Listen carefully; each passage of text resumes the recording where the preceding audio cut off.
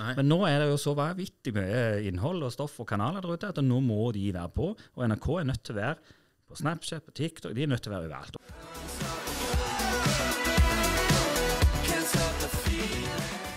Boom! Da er vi her med Håvard selveste. Håvard Hana. Takk for det. Selveste, det er jo kjekt å høre det. Men jeg tror jeg er den eneste i Norge som heter det, faktisk. Jeg tror det. Ja, det er ikke dårlig, altså. Ja, det er en kombinasjon, i hvert fall. Ja. Håvard Hana fra Jæren. Mm. Av, eh, det er jo to store sønner på Jæren. Ja. Braut Haaland og Hana. Ja, han tjener litt mer enn meg. Ja. Men eh, ja, Men du er jo på gang. det, jeg er på gang. Stemmer Så det. det, det kan fort endre seg. Aldri for seint. Iallfall ikke i denne bransjen her. her kan du, eh, I filmbransjen kan du bli gammel, men ikke med fotball. Det er litt verre. Nei. Så du har jo en Du har mye kar lengre karriereløp enn han, Ja. potensielt. Mm. Håvard, du driver med film, Ja. og ja, du er CEO i Videoassist. Videoassist. Dere lager, produserer filmer for sosiale medier. Ja, det er strictly for sosiale medier. Eh, Ja. Det er lavterskel eh, la, Altså, jeg pleier å si hvis du skal ha skikkelig flott, dyr film som skal på TV til mange millioner mennesker, så går du til et skikkelig filmselskap, og det er helt greit, det. Um, eller så kan du gjøre det sjøl. Det er ikke helt greit, så ligger vi en plass midt imellom. Ja. Og så er du line producer i Chaperone Film. Ja, og det er et firma som jeg driver bare for meg sjøl, um, fordi jeg elsker, jeg elsker natur, jeg elsker norsk natur, og mitt store mål er å få mest mulig filmproduksjon til Rogaland, for der er vi fantastisk flott. Nå har jo Tom Cruise vært der, men eh, det er òg andre som har vært der. Jeg har hatt eh, nettopp et engelsk selskap, jeg har hatt et fransk selskap der, og DHL var nettopp der på en stor shoot, så det er veldig mye fint. Men det, det er på prosjektbasis, og da leier jeg inn eh, folk. Så, så Videoassist er et selskap som på en måte der jeg har tre ansatte, som jeg eh, prøver å bygge opp som et eh, firma som skal, som skal lage video på løpende bånd. For nå er det mye eh, kvantitet. Det skal selvfølgelig være kvalitet òg, men eh, det går veldig ofte på kvantitet. For før så brukte du masse masse penger på en svær, flott film, og så kjøpte du masse reklametid på TV eller på kino, og, og det var fint, det. Men nå har du gratiskanaler, så Ja. nå gjelder det å bygge en kanal. Det er veldig viktig. Bygge en kanal ut til eh, kall det dine fans eller dine kunder. Ja. Eh, og den må fylles med innhold interessant hele tida. Ja. Veldig spennende med dette her med kvalitet også. Hva er kvalitet, egentlig? Ja, det er jo altså En av de, filmene eh, som har mest views, jo, som jeg har, er jo filma med en mobil eh, på en scene med Stavanger-kameratene. Så det er klart, kvalitetsmessig Teknisk kvaliteten er jo ikke så stor. Men eh, innholdet er jo sant? Det er jo masse glade mennesker som synger med på sang. Og du har jo filma en del på mobil sjøl, du. Så, så, så kvalitet Igjen, vi er ikke det firmaet der du går for å få den største tekniske kvaliteten. og du du kan jo jobbe deg vekk i kameraer til flere hundre tusen kroner og eh, fly droner og ha en rød kopp istedenfor en blå, men ofte så handler det om eh, engasjement eh, og lage noe gass. Og jeg har en veldig god historie. Det var en eh, lærer på filmskolen så han spurte alltid ja, men er det gass. Så jeg, ja, men vi skal gjøre sånn og sånn. sånn. Ja, ja, ja, men er det gass? Altså, det må være, det må være noe kult. Ja. Ja, for det er jo et eller annet som må fe- fenge folk som sitter og ser på dette. Ja. Og en ting som er litt interessant med det Vi, vi lager jo eh, Det er funnet at du sier det, men vi, vi holdt jo på jeg, jeg tipper det var tre eller fire år før vi kjøpte vårt første kamera. Så vi filma alt på mobilen i, fra Vi starta i 2015. Men ehm, det er jo litt interessant å se at vi lager veldig mye greier. Vi, veldig mye av det vi lager, havner på Instagram, og så havner en del på YouTube, og noe går på TV. Vi har laget et par TV-reklamer og sånn der. Men veldig mye av det vi lager, er til Instagram. Og så legger vi det på Facebook og sånn der. Min opplevelse med det, det er at du eh, legger mer på Facebook, at du har ganske god suksess med å lage videoer til Facebook. Ja. Og det er nesten eh, Jeg skal ikke si det er unikt, men eh, du stikker deg nesten litt ut. Ja, nå er det kanskje alderen min som gjør det, for Ja. det, det er jo min aldersgruppe som er på Facebook. Ja. Eh, men eh, det har vist seg å være for, det er jo en kanal, altså Facebook er jo nesten en TV-kanal for, for, for våre kunder. Ja. Og spesielt jeg har jo jobbet med Viking, og det har jo du òg. Og, og og vi har òg Stavangerkameratene som jobber med. Det er deres kanal ut til folk. Og de har jo òg YouTube, selvfølgelig. Men, men eh, det handler om å lage godt innhold, så det handler jo om å spre det. Eh, og, og jeg føler I begynnelsen så, så skulle liksom alt eh, overalt. Men nå er det mer sånn ok, Facebook har én spesielle Det kan være eh, de filmene. Instagram der skal det litt mer sånn. Og så har du Reels. Ja, så har du TikTok. Og så har du YouTube. Og så hadde jeg en kunde som sa er det en grunn til vi ikke skal legge ting på YouTube? Så sa jeg nei, ikke, vi har jo lagd det, så hvorfor ikke bare legge det der? Altså, det er ikke sikkert vi får noe særlig traction på det, men you never know. Nei. Så det, er- og det, det, spesielt med Viking har jeg merka at det, der eh, er det viktig å legge det ut og så på en måte tagge de rette greiene, for at du vet aldri hvem som eh, havner i Dortmund eller eh, Manchester City. Nei, nei. Eh, Så hvis du sitter på råopptak fra eh, Erling Barth Haaland, så kan du få ganske bra fra når han var 14 og Ja, noen triks, så kan du få ganske bra hits, tror jeg. Ja, det tror jeg også. Nei, spennende. da.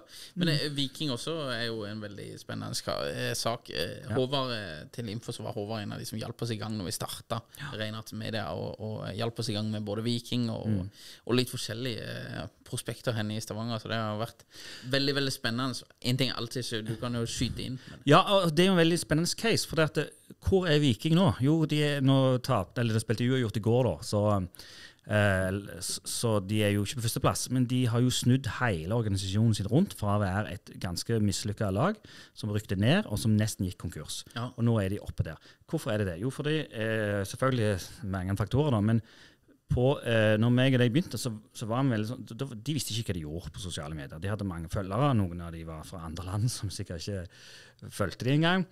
Og de hadde liksom 3000 følgere på Instagram. Eh, og så gikk vi inn og så sa vi nå skal lage det og det innholdet, og alt skal være det skal være med verdiene til Viking. Sant? Skal Vinnervilje, det skal være, ikke være alkohol. Sant? Det skal være eh, til, til barn. Sant? For det barn de elsker, altså, Alle barn kan plukke opp en fotball. ja, De kan ikke plukke opp en ishockeykølle og, og gå i en ishall og begynne å spille. Nei, men fotball kan de.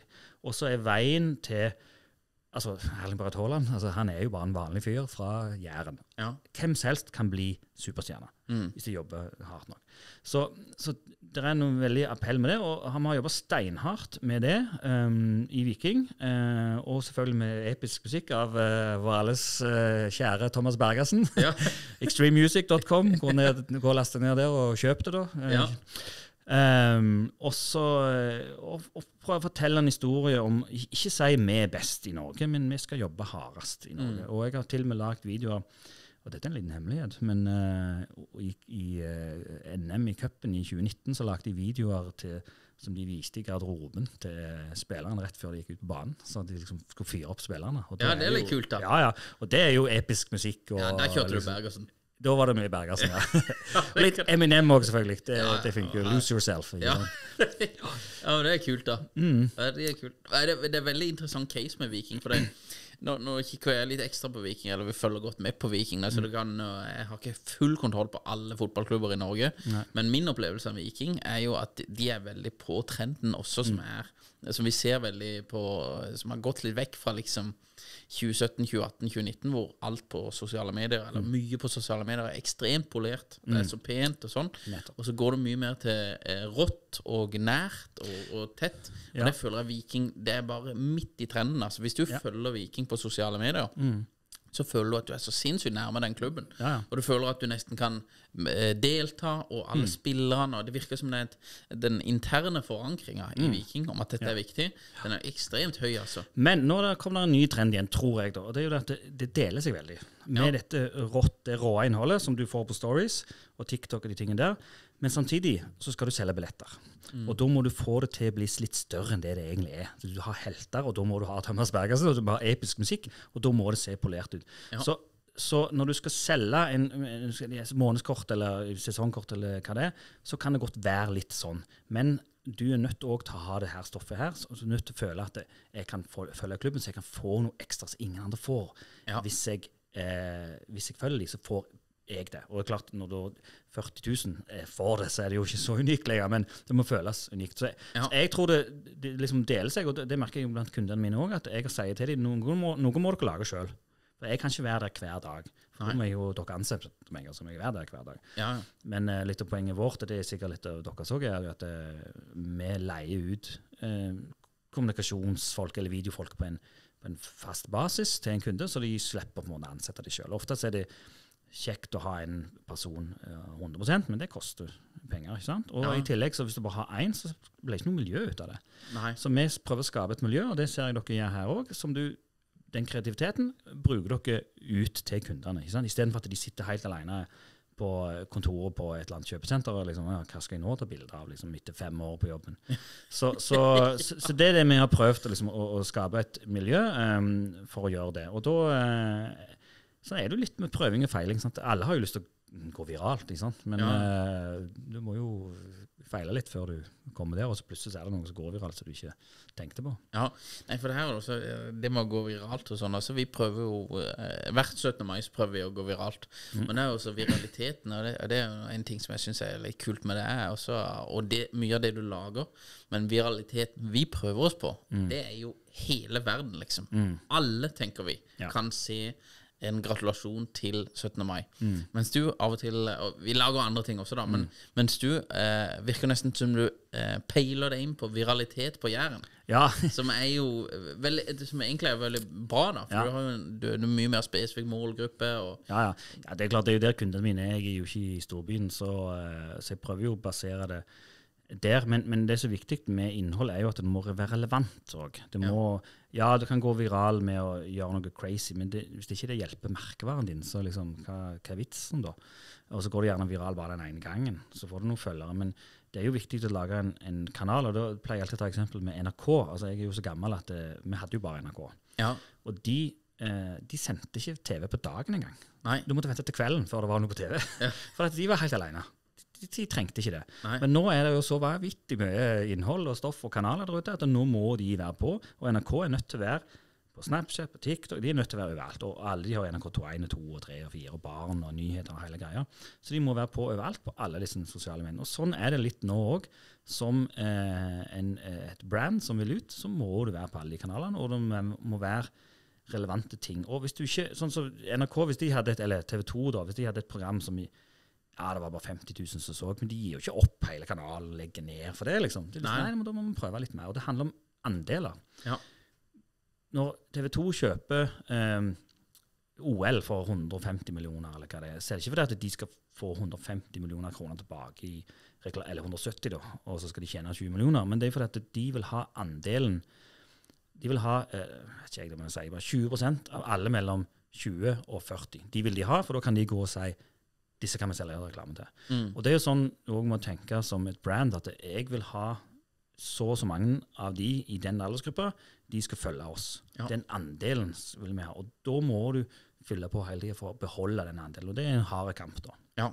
Mm. det her også er det jo, det er jo en annen sak. Men det, det har blitt bedre over, over tid, føler jeg. Men når vi begynte med dette her i 2015, og skulle få folk, eller brands, da, til å allokere ressurser, ordentlige ressurser, til å produsere hyppig sosialt mediekontent, liksom. Det var jo se Dette er noe vi setter ut til han gutten i kassa, eller hun Ja, ja. jenta i kassa, liksom.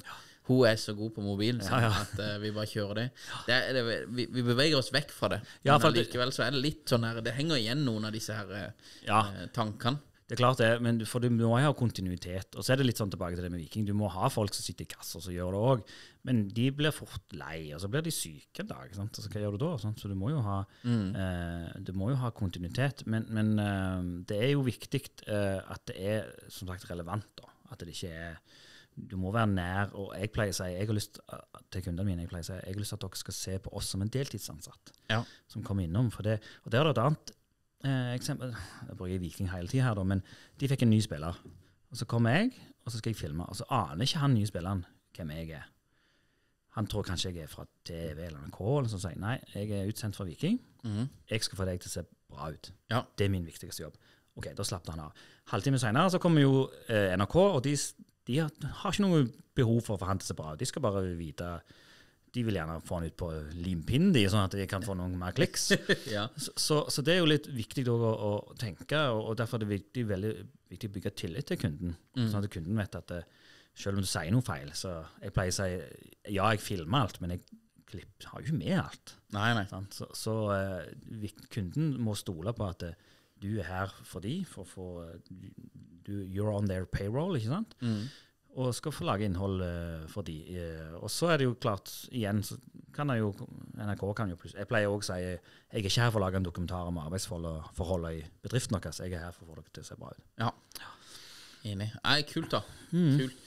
Du er jo, eh, du er jo ganske ung ennå, men du, du for har det. jo uh, du Ung, ung til sinns, i hvert fall. Ja, ung til sinns. Ja. Men det er en kul sak med det, det er at du har bodd litt i Los Angeles. Ja. Eh, hvor lenge bodde du der? Jeg bodde åtte år. Jeg er først på skole der i eh, 95 til 96, eh, og så flyttet jeg tilbake. Og så var jeg litt der sånn, utover 2000-tallet, så flyttet jeg tilbake i 2005 og jobbet til 2012. Ja, Da jobber, jobber du med film og TV også? Ja, da jobber jeg med post, postproduksjon. Ja. Der er det jo mye mer Det er jo store filmbransjen, så det er mye mer spesialisert. Der har du folk som eh, gjør kun dialoglyd. Sant? Der har du folk som gjør kun holder en bom, og så er det folk som bare skrur sånne, sånne filter som du har her. Eh, så da er det jo veldig mye mer spesialisert. Men da, da har du verdens beste folk på det. Så det var veldig kjekt. Og da jobbet jeg med musikk og med lydeffekter. Ja.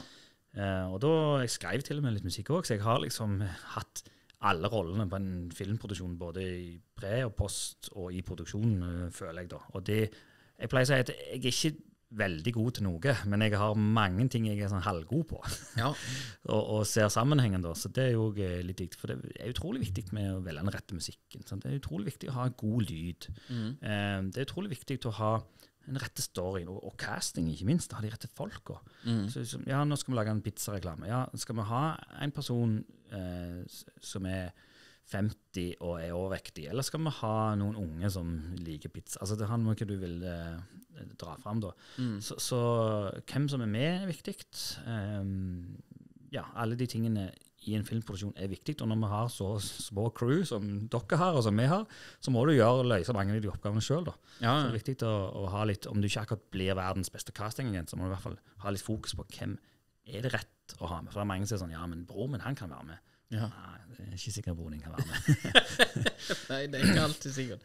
Broren ikke Ja, men Du har jo broren din med, altså, for all del. Han er sikker. Men, men uh, Ja, han hiver seg inn med stadig, stadig vekk. Altså, men, det, Ja. men jeg er helt enig. Jeg er helt enig. Det er jo Uh, Nei, Du får jo med deg mye erfaringer. da Hva, hva vil du si er liksom de største forskjellene mellom, mellom det, det du holder på med i LA, og, og kanskje produksjon i Norge? da det er jo et visst tidsaspekt også som er forskjellen. Ja. Nei, men det er jo det med spesialisering, at de du er så utrolig flink når du jobber i LA, og du er så utrolig spesialisert på akkurat det. For du, du får jo du får jo mye jobb hvis du er flink på det. Eh, mens i Norge, så er det sånn, ja, spesielt i Rogaland, da, altså hvis du eh, Se på meg, jeg er en god linjeprodusent, men det er ikke nok jobb til meg for å ha en heltidsjobb. Jeg må vente på prosjektene. Så, så derfor eh, har det tatt meg mange år til å bli flink på det. Så, så det er jo nok den største forskjellen. Eh, men det, det, det er to ting jeg fant ut når jeg kom til LA. Det var hvor flink jeg var, og hvor dårlig jeg var. altså hva jeg var flink på, men òg hva jeg ikke var flink på i det hele tatt. Og, hva jeg på en måte, og litt sånn tilbake til Thomas Bergersen. Jeg skulle jo bli jeg skulle bli komponist og lage episk musikk, og så traff jeg Thomas Bergersen, så bare Nei. Jeg kan aldri overgå Thomas Bergersen. Eh, så det nytter ikke så jeg bare ga litt opp egentlig når jeg traff han. For Ja, det, han er bare så ufattelig flink. For til de som ikke hører det, så gå på uh, YouTube eller gå på Spotify eller hvor, uh, wherever you are. Hør på Thomas Bergersen eller Two Steps From Hell. Det er, han er uh, rett og slett jeg vil si tidenes norske, største norske komponist. Jeg er veldig enig. Ja. Jeg er veldig enig. Veldig fan av Thomas Bergersen. Ja, men hvis det er på antall streams og downloads han har, så er det, så er det mer enn Edvard Grieg, liksom. Og han har jo produsert mye, mye mer òg. Ja, kult. Så Nei, fett, altså. Fett. Ja. Um, ja, tilbake til LA og dette her. eh, Når du er da De har jo Der har de jo mye ressurser og, liksom manusforfattere er- og, Mm. og tjo og hei. Men det, i 2022, hvor og på sosiale medier da med et, et begrensa crew og et begrensa budsjett, hvordan Mm. forteller man en god historie? ja, det er jo viktig å finne ut hvem eh, Hva du vil si. Det er det viktigste med en gang. Det Spør kunden hva dere vil fortelle. Skal dere selge noe, eller skal dere bare fortelle at det er kjekt på jobb? For det at en, en kunde, eller en, et produkt som jeg har merka nå i siste jeg må lage, det er eh, folk, folk trenger folk. Altså rekruttering. Utrolig viktig å få tak i de beste folka. Og da må du vise at du er en attraktiv bedrift for Ja. ungdom og for eh, ja, eh, Spesielt innen IT og og innen eh, eh, sånn eh, fysisk arbeid. Eh, men, men alle, egentlig. Så da, eh, og da spør jeg de, er det, hva er det dere vil, hva er målet? Og så må du jobbe deg bakover fra det. Ok, Hvordan skal jeg fortelle dette på best måte? Hvem skal fortelle det? Spesielt med Viking, da, så, eh, så ville vi fortelle en film om at Viking var, ga aldri opp, og de, de eh, prøvde alt de kan, og sånn som det. Så valgte jeg ok, da velger jeg det å se det gjennom et barns øyne. At de skal gå rundt i byen, og observere at vikingspillere som gjør forskjellige ting, og til slutt ender opp på Vikingstadion, så sier han 'jeg vil bli en viking når jeg blir stor'. Ja. Istedenfor at eh, de sjøl fortalte det. liksom, 'Du må begynne på Viking'. Så, så det har liksom, hvem som må fortelle historien, er utrolig viktig. Å velge den, eh, den rette eh, til, til å gjøre det. Um, og så er det jo altså alle, all historiefortelling har jo Alle filmer har jo den der treakterstrukturen, da. Sant? Med etablering av karakter. Hvem er det som skal være med? Og det er veldig viktig å gjøre veldig kjapt. Nå er jo TikTok og sånne videoer enda kortere. Eh, hvem handler det om? Mm. Hva skal de gjøre? Ja. Og så må du ha en resolution da, til slutt. De må liksom, de må lykkes. Og da er det ofte at eh, jeg pleier å si at eh, kunden min eh, Eller vi må finne et problem som de har, og så er kunden min løsningen på det problemet. Ja. Liksom sånn sats. Jo, jeg kommer meg ikke i form. Hva er løsningen? Jo, det er sats. Mm. Så da går gjerne Finner du en karakter som er typisk for sats? Sant? Hvem er det du vil nå ut til? Og, og da er det ikke alltid sånn, for eksempel med fotball, da, så er det jo den typiske fotballsupporteren er jo mann 40 pluss. Ja. Men de har du allerede nådd ut til. Så hvem skal du nå ut til? Jo, du vil gjerne nå ut til yngre. Så da er det kanskje bedre å si kanskje vi skulle fått med oss noen jenter på 18-19-20 som, som syns det her er, er kult. Og så, må de da oppleve at eh, kunden din da er løsningen på deres problemer. Ja. Så det er jo alltid sånn eh, etablering, problem, så går det en historie, og så er det en løsning. Ja.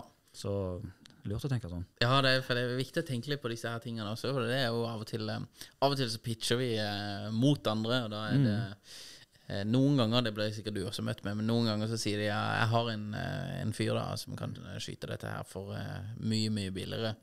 Men det er sånn eh, det, er det vi kaller det kid with a camera. Ja, ja. Du, får, du, du risikerer det. Det, det kan være de er kjempeflinke også, da. Men det, det å faktisk ha en plan og en historie og på en måte fortelle et budskap, da. Ja, for jeg, jeg, var, jeg, jeg var på en, et frokostmøte. Um, og der, på et hotell så viste de en film. 'Nå skal dere få se hotellet vårt.' Ja vel. Så var det noen dronebilder, og så var det noe glass og noe greier, og noe musikk. Og så er ingenting. For, det fortalte meg ingenting. Men jeg så den filmen fordi jeg var jo invitert på frokostmøte, og vi var gjerne 100 stykker. Så så jeg den filmen. Og da fikk den filmen på en måte 100 views. da, ikke sant? Ja. Men det var ingenting med den filmen som gikk og jeg tenkte den skal jeg vise til andre. Ingenting. Så den fikk bare den, de 100 viewsa. Og så går jeg hjem, og så da på Facebook så ser jeg en fyr som skriver «Nei, jeg hater reklame, eller sånn video på internett. Hater reklamevideoer. Ja, veldig greit. To dager etterpå så deler han en film med Zlatan. Skal selge vitaminmann, vet ikke om du husker den. Det var for noen år siden. Zlatan skulle starte eget vitaminmerke.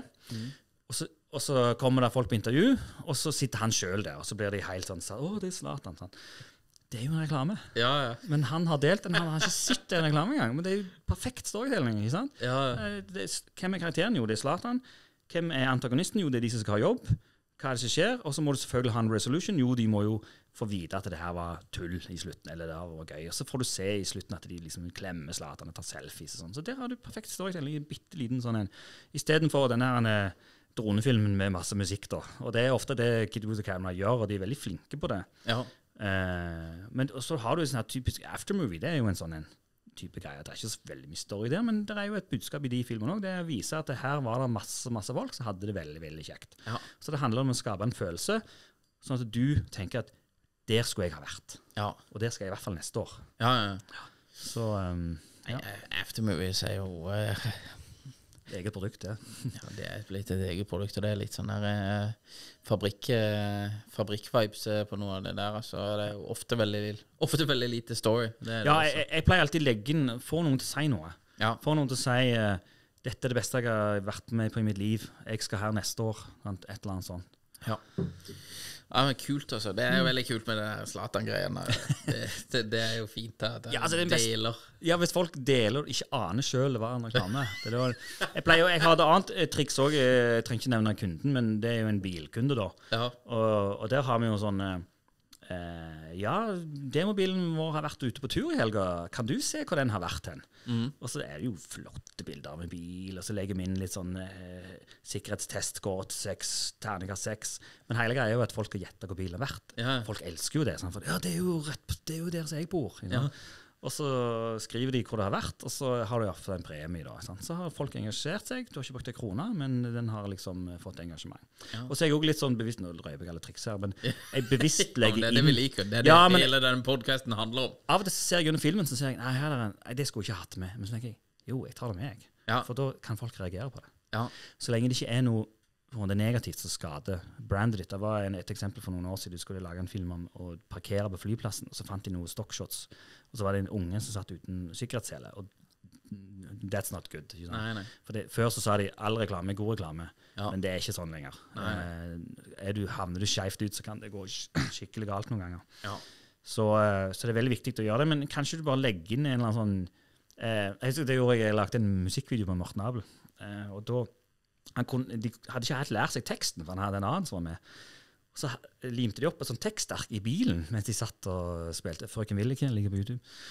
Og så eh, etterpå så, så sa jeg til Morten shit, vi glemte det der arket. Det, skal jeg ta det vekk liksom, i, i post? Nei, nei, bare la det være. Bare løye det. Og hva er det som skjer? Jo, kommentarene. De ser jo det her. De syns det her er kjempeløye. Ja, ja, ja. Så, men det, for, det skaper engasjement, det.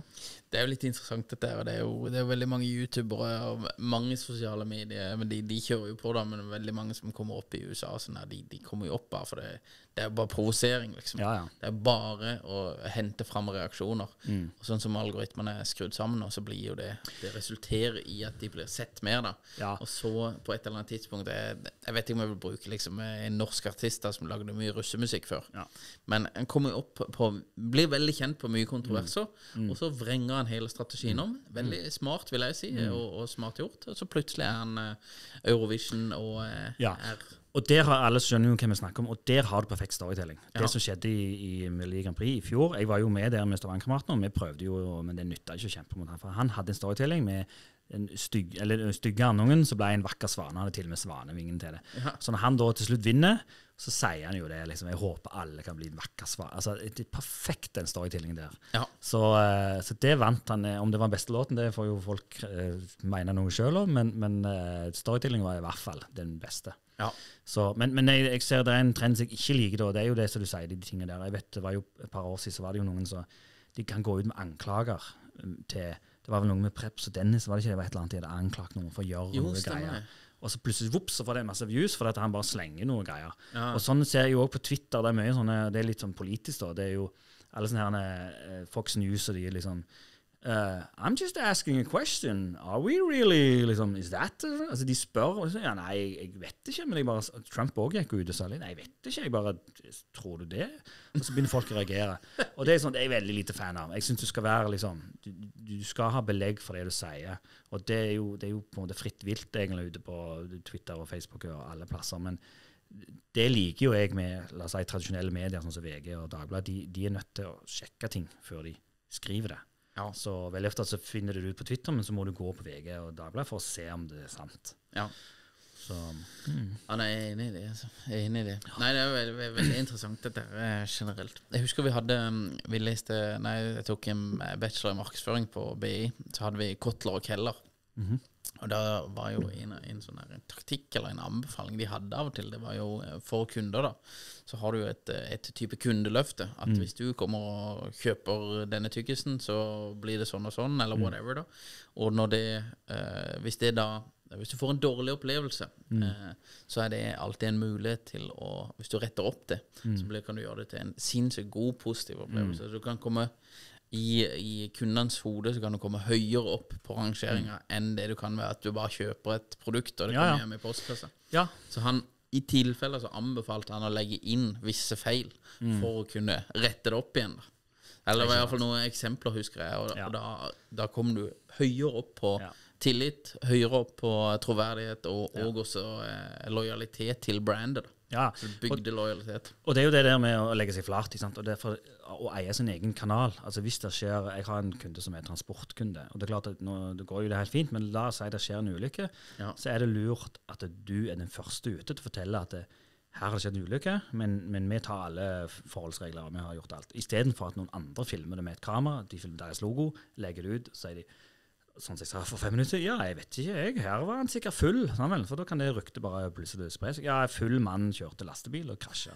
Sånn, så, så det er utrolig viktig å eie sin egen uh, kanal, da, der du kan Selvfølgelig må du tenke deg om hva du skriver der òg, men, mm. men i hvert fall at du kan gå gjennom så kan du si Og sånn er det jo med, med tilbake til Viking enda en gang. Uh, når det kommer nye spiller, sant? hvem skal få lov å er det Aftenbladet som skal få den nye? VG? Eller hvem skal eie den nyheten? Ikke sant? Og det, sånn var det jo med Braut Haaland. Sant? Hvem skal få lov å være den? Det var masse rykter, men, men du, du, du, kan ikke tro det før du ser det på City sin offisielle konto. Da. Så det, Derfor er det viktig å være seriøs der, da. Enig i det. Ja. Enig i det. Eller på Stavanger Aftenblad. De er jo så ekstremt uh, ja, der skal det sjekkes flere ganger. Det, det er fint, det. Altså, for at du vet, fake news det, Ja, fake news er det mye av. Det er, Før så måtte du jo eh, var det markedsføringsregel så var det jo sånn at du kunne ikke bare si at ditt produkt var best. Du måtte liksom vise til undersøkelser og vise sånn og sånn. og Du kan ikke bare si at det, eh, vi har den beste isen. Du kan ikke bare gjøre det. liksom. Det er ikke lov. Eh, og det er mye som I USA er det jo veldig Der snakker de veldig ofte ned andre sine produkt. og opp snakker ikke opp sitt engang, de snakker bare ned andre sine produkter, spesielt politikere. Ja. Så det er òg en ting som jeg er heller ikke er så veldig fan av. Da. Trenger ikke, en, ikke nevne navn, bare snakk opp ditt eget produkt heller. Mye bedre. Ja, det er jeg veldig enig mm.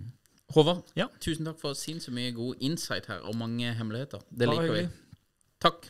Eh, eller hvor kan de finne deg? Det må ja. jeg huske. Ja, eh, Videosist.no. Eh, det er både URL-en og, og Facebook og Instagram. Og så det Chaperon Film eh, i ett ord. Det er Facebook og Instagram. Så Chaperon Film. Så har jeg òg min egen sosiale mediekonto, og det er Håvard Hanna i ett ord. Det bruker jeg på Facebook. Jeg, jeg er ikke sånn som har ett navn på den kontoen og ett navn på den. kontoen. Jeg har bare ett samme balle. Ja, Veldig bra. Vi anbefaler det, selv om jeg ikke har det selv. Takk for det. Takk skal du ha, Håvard.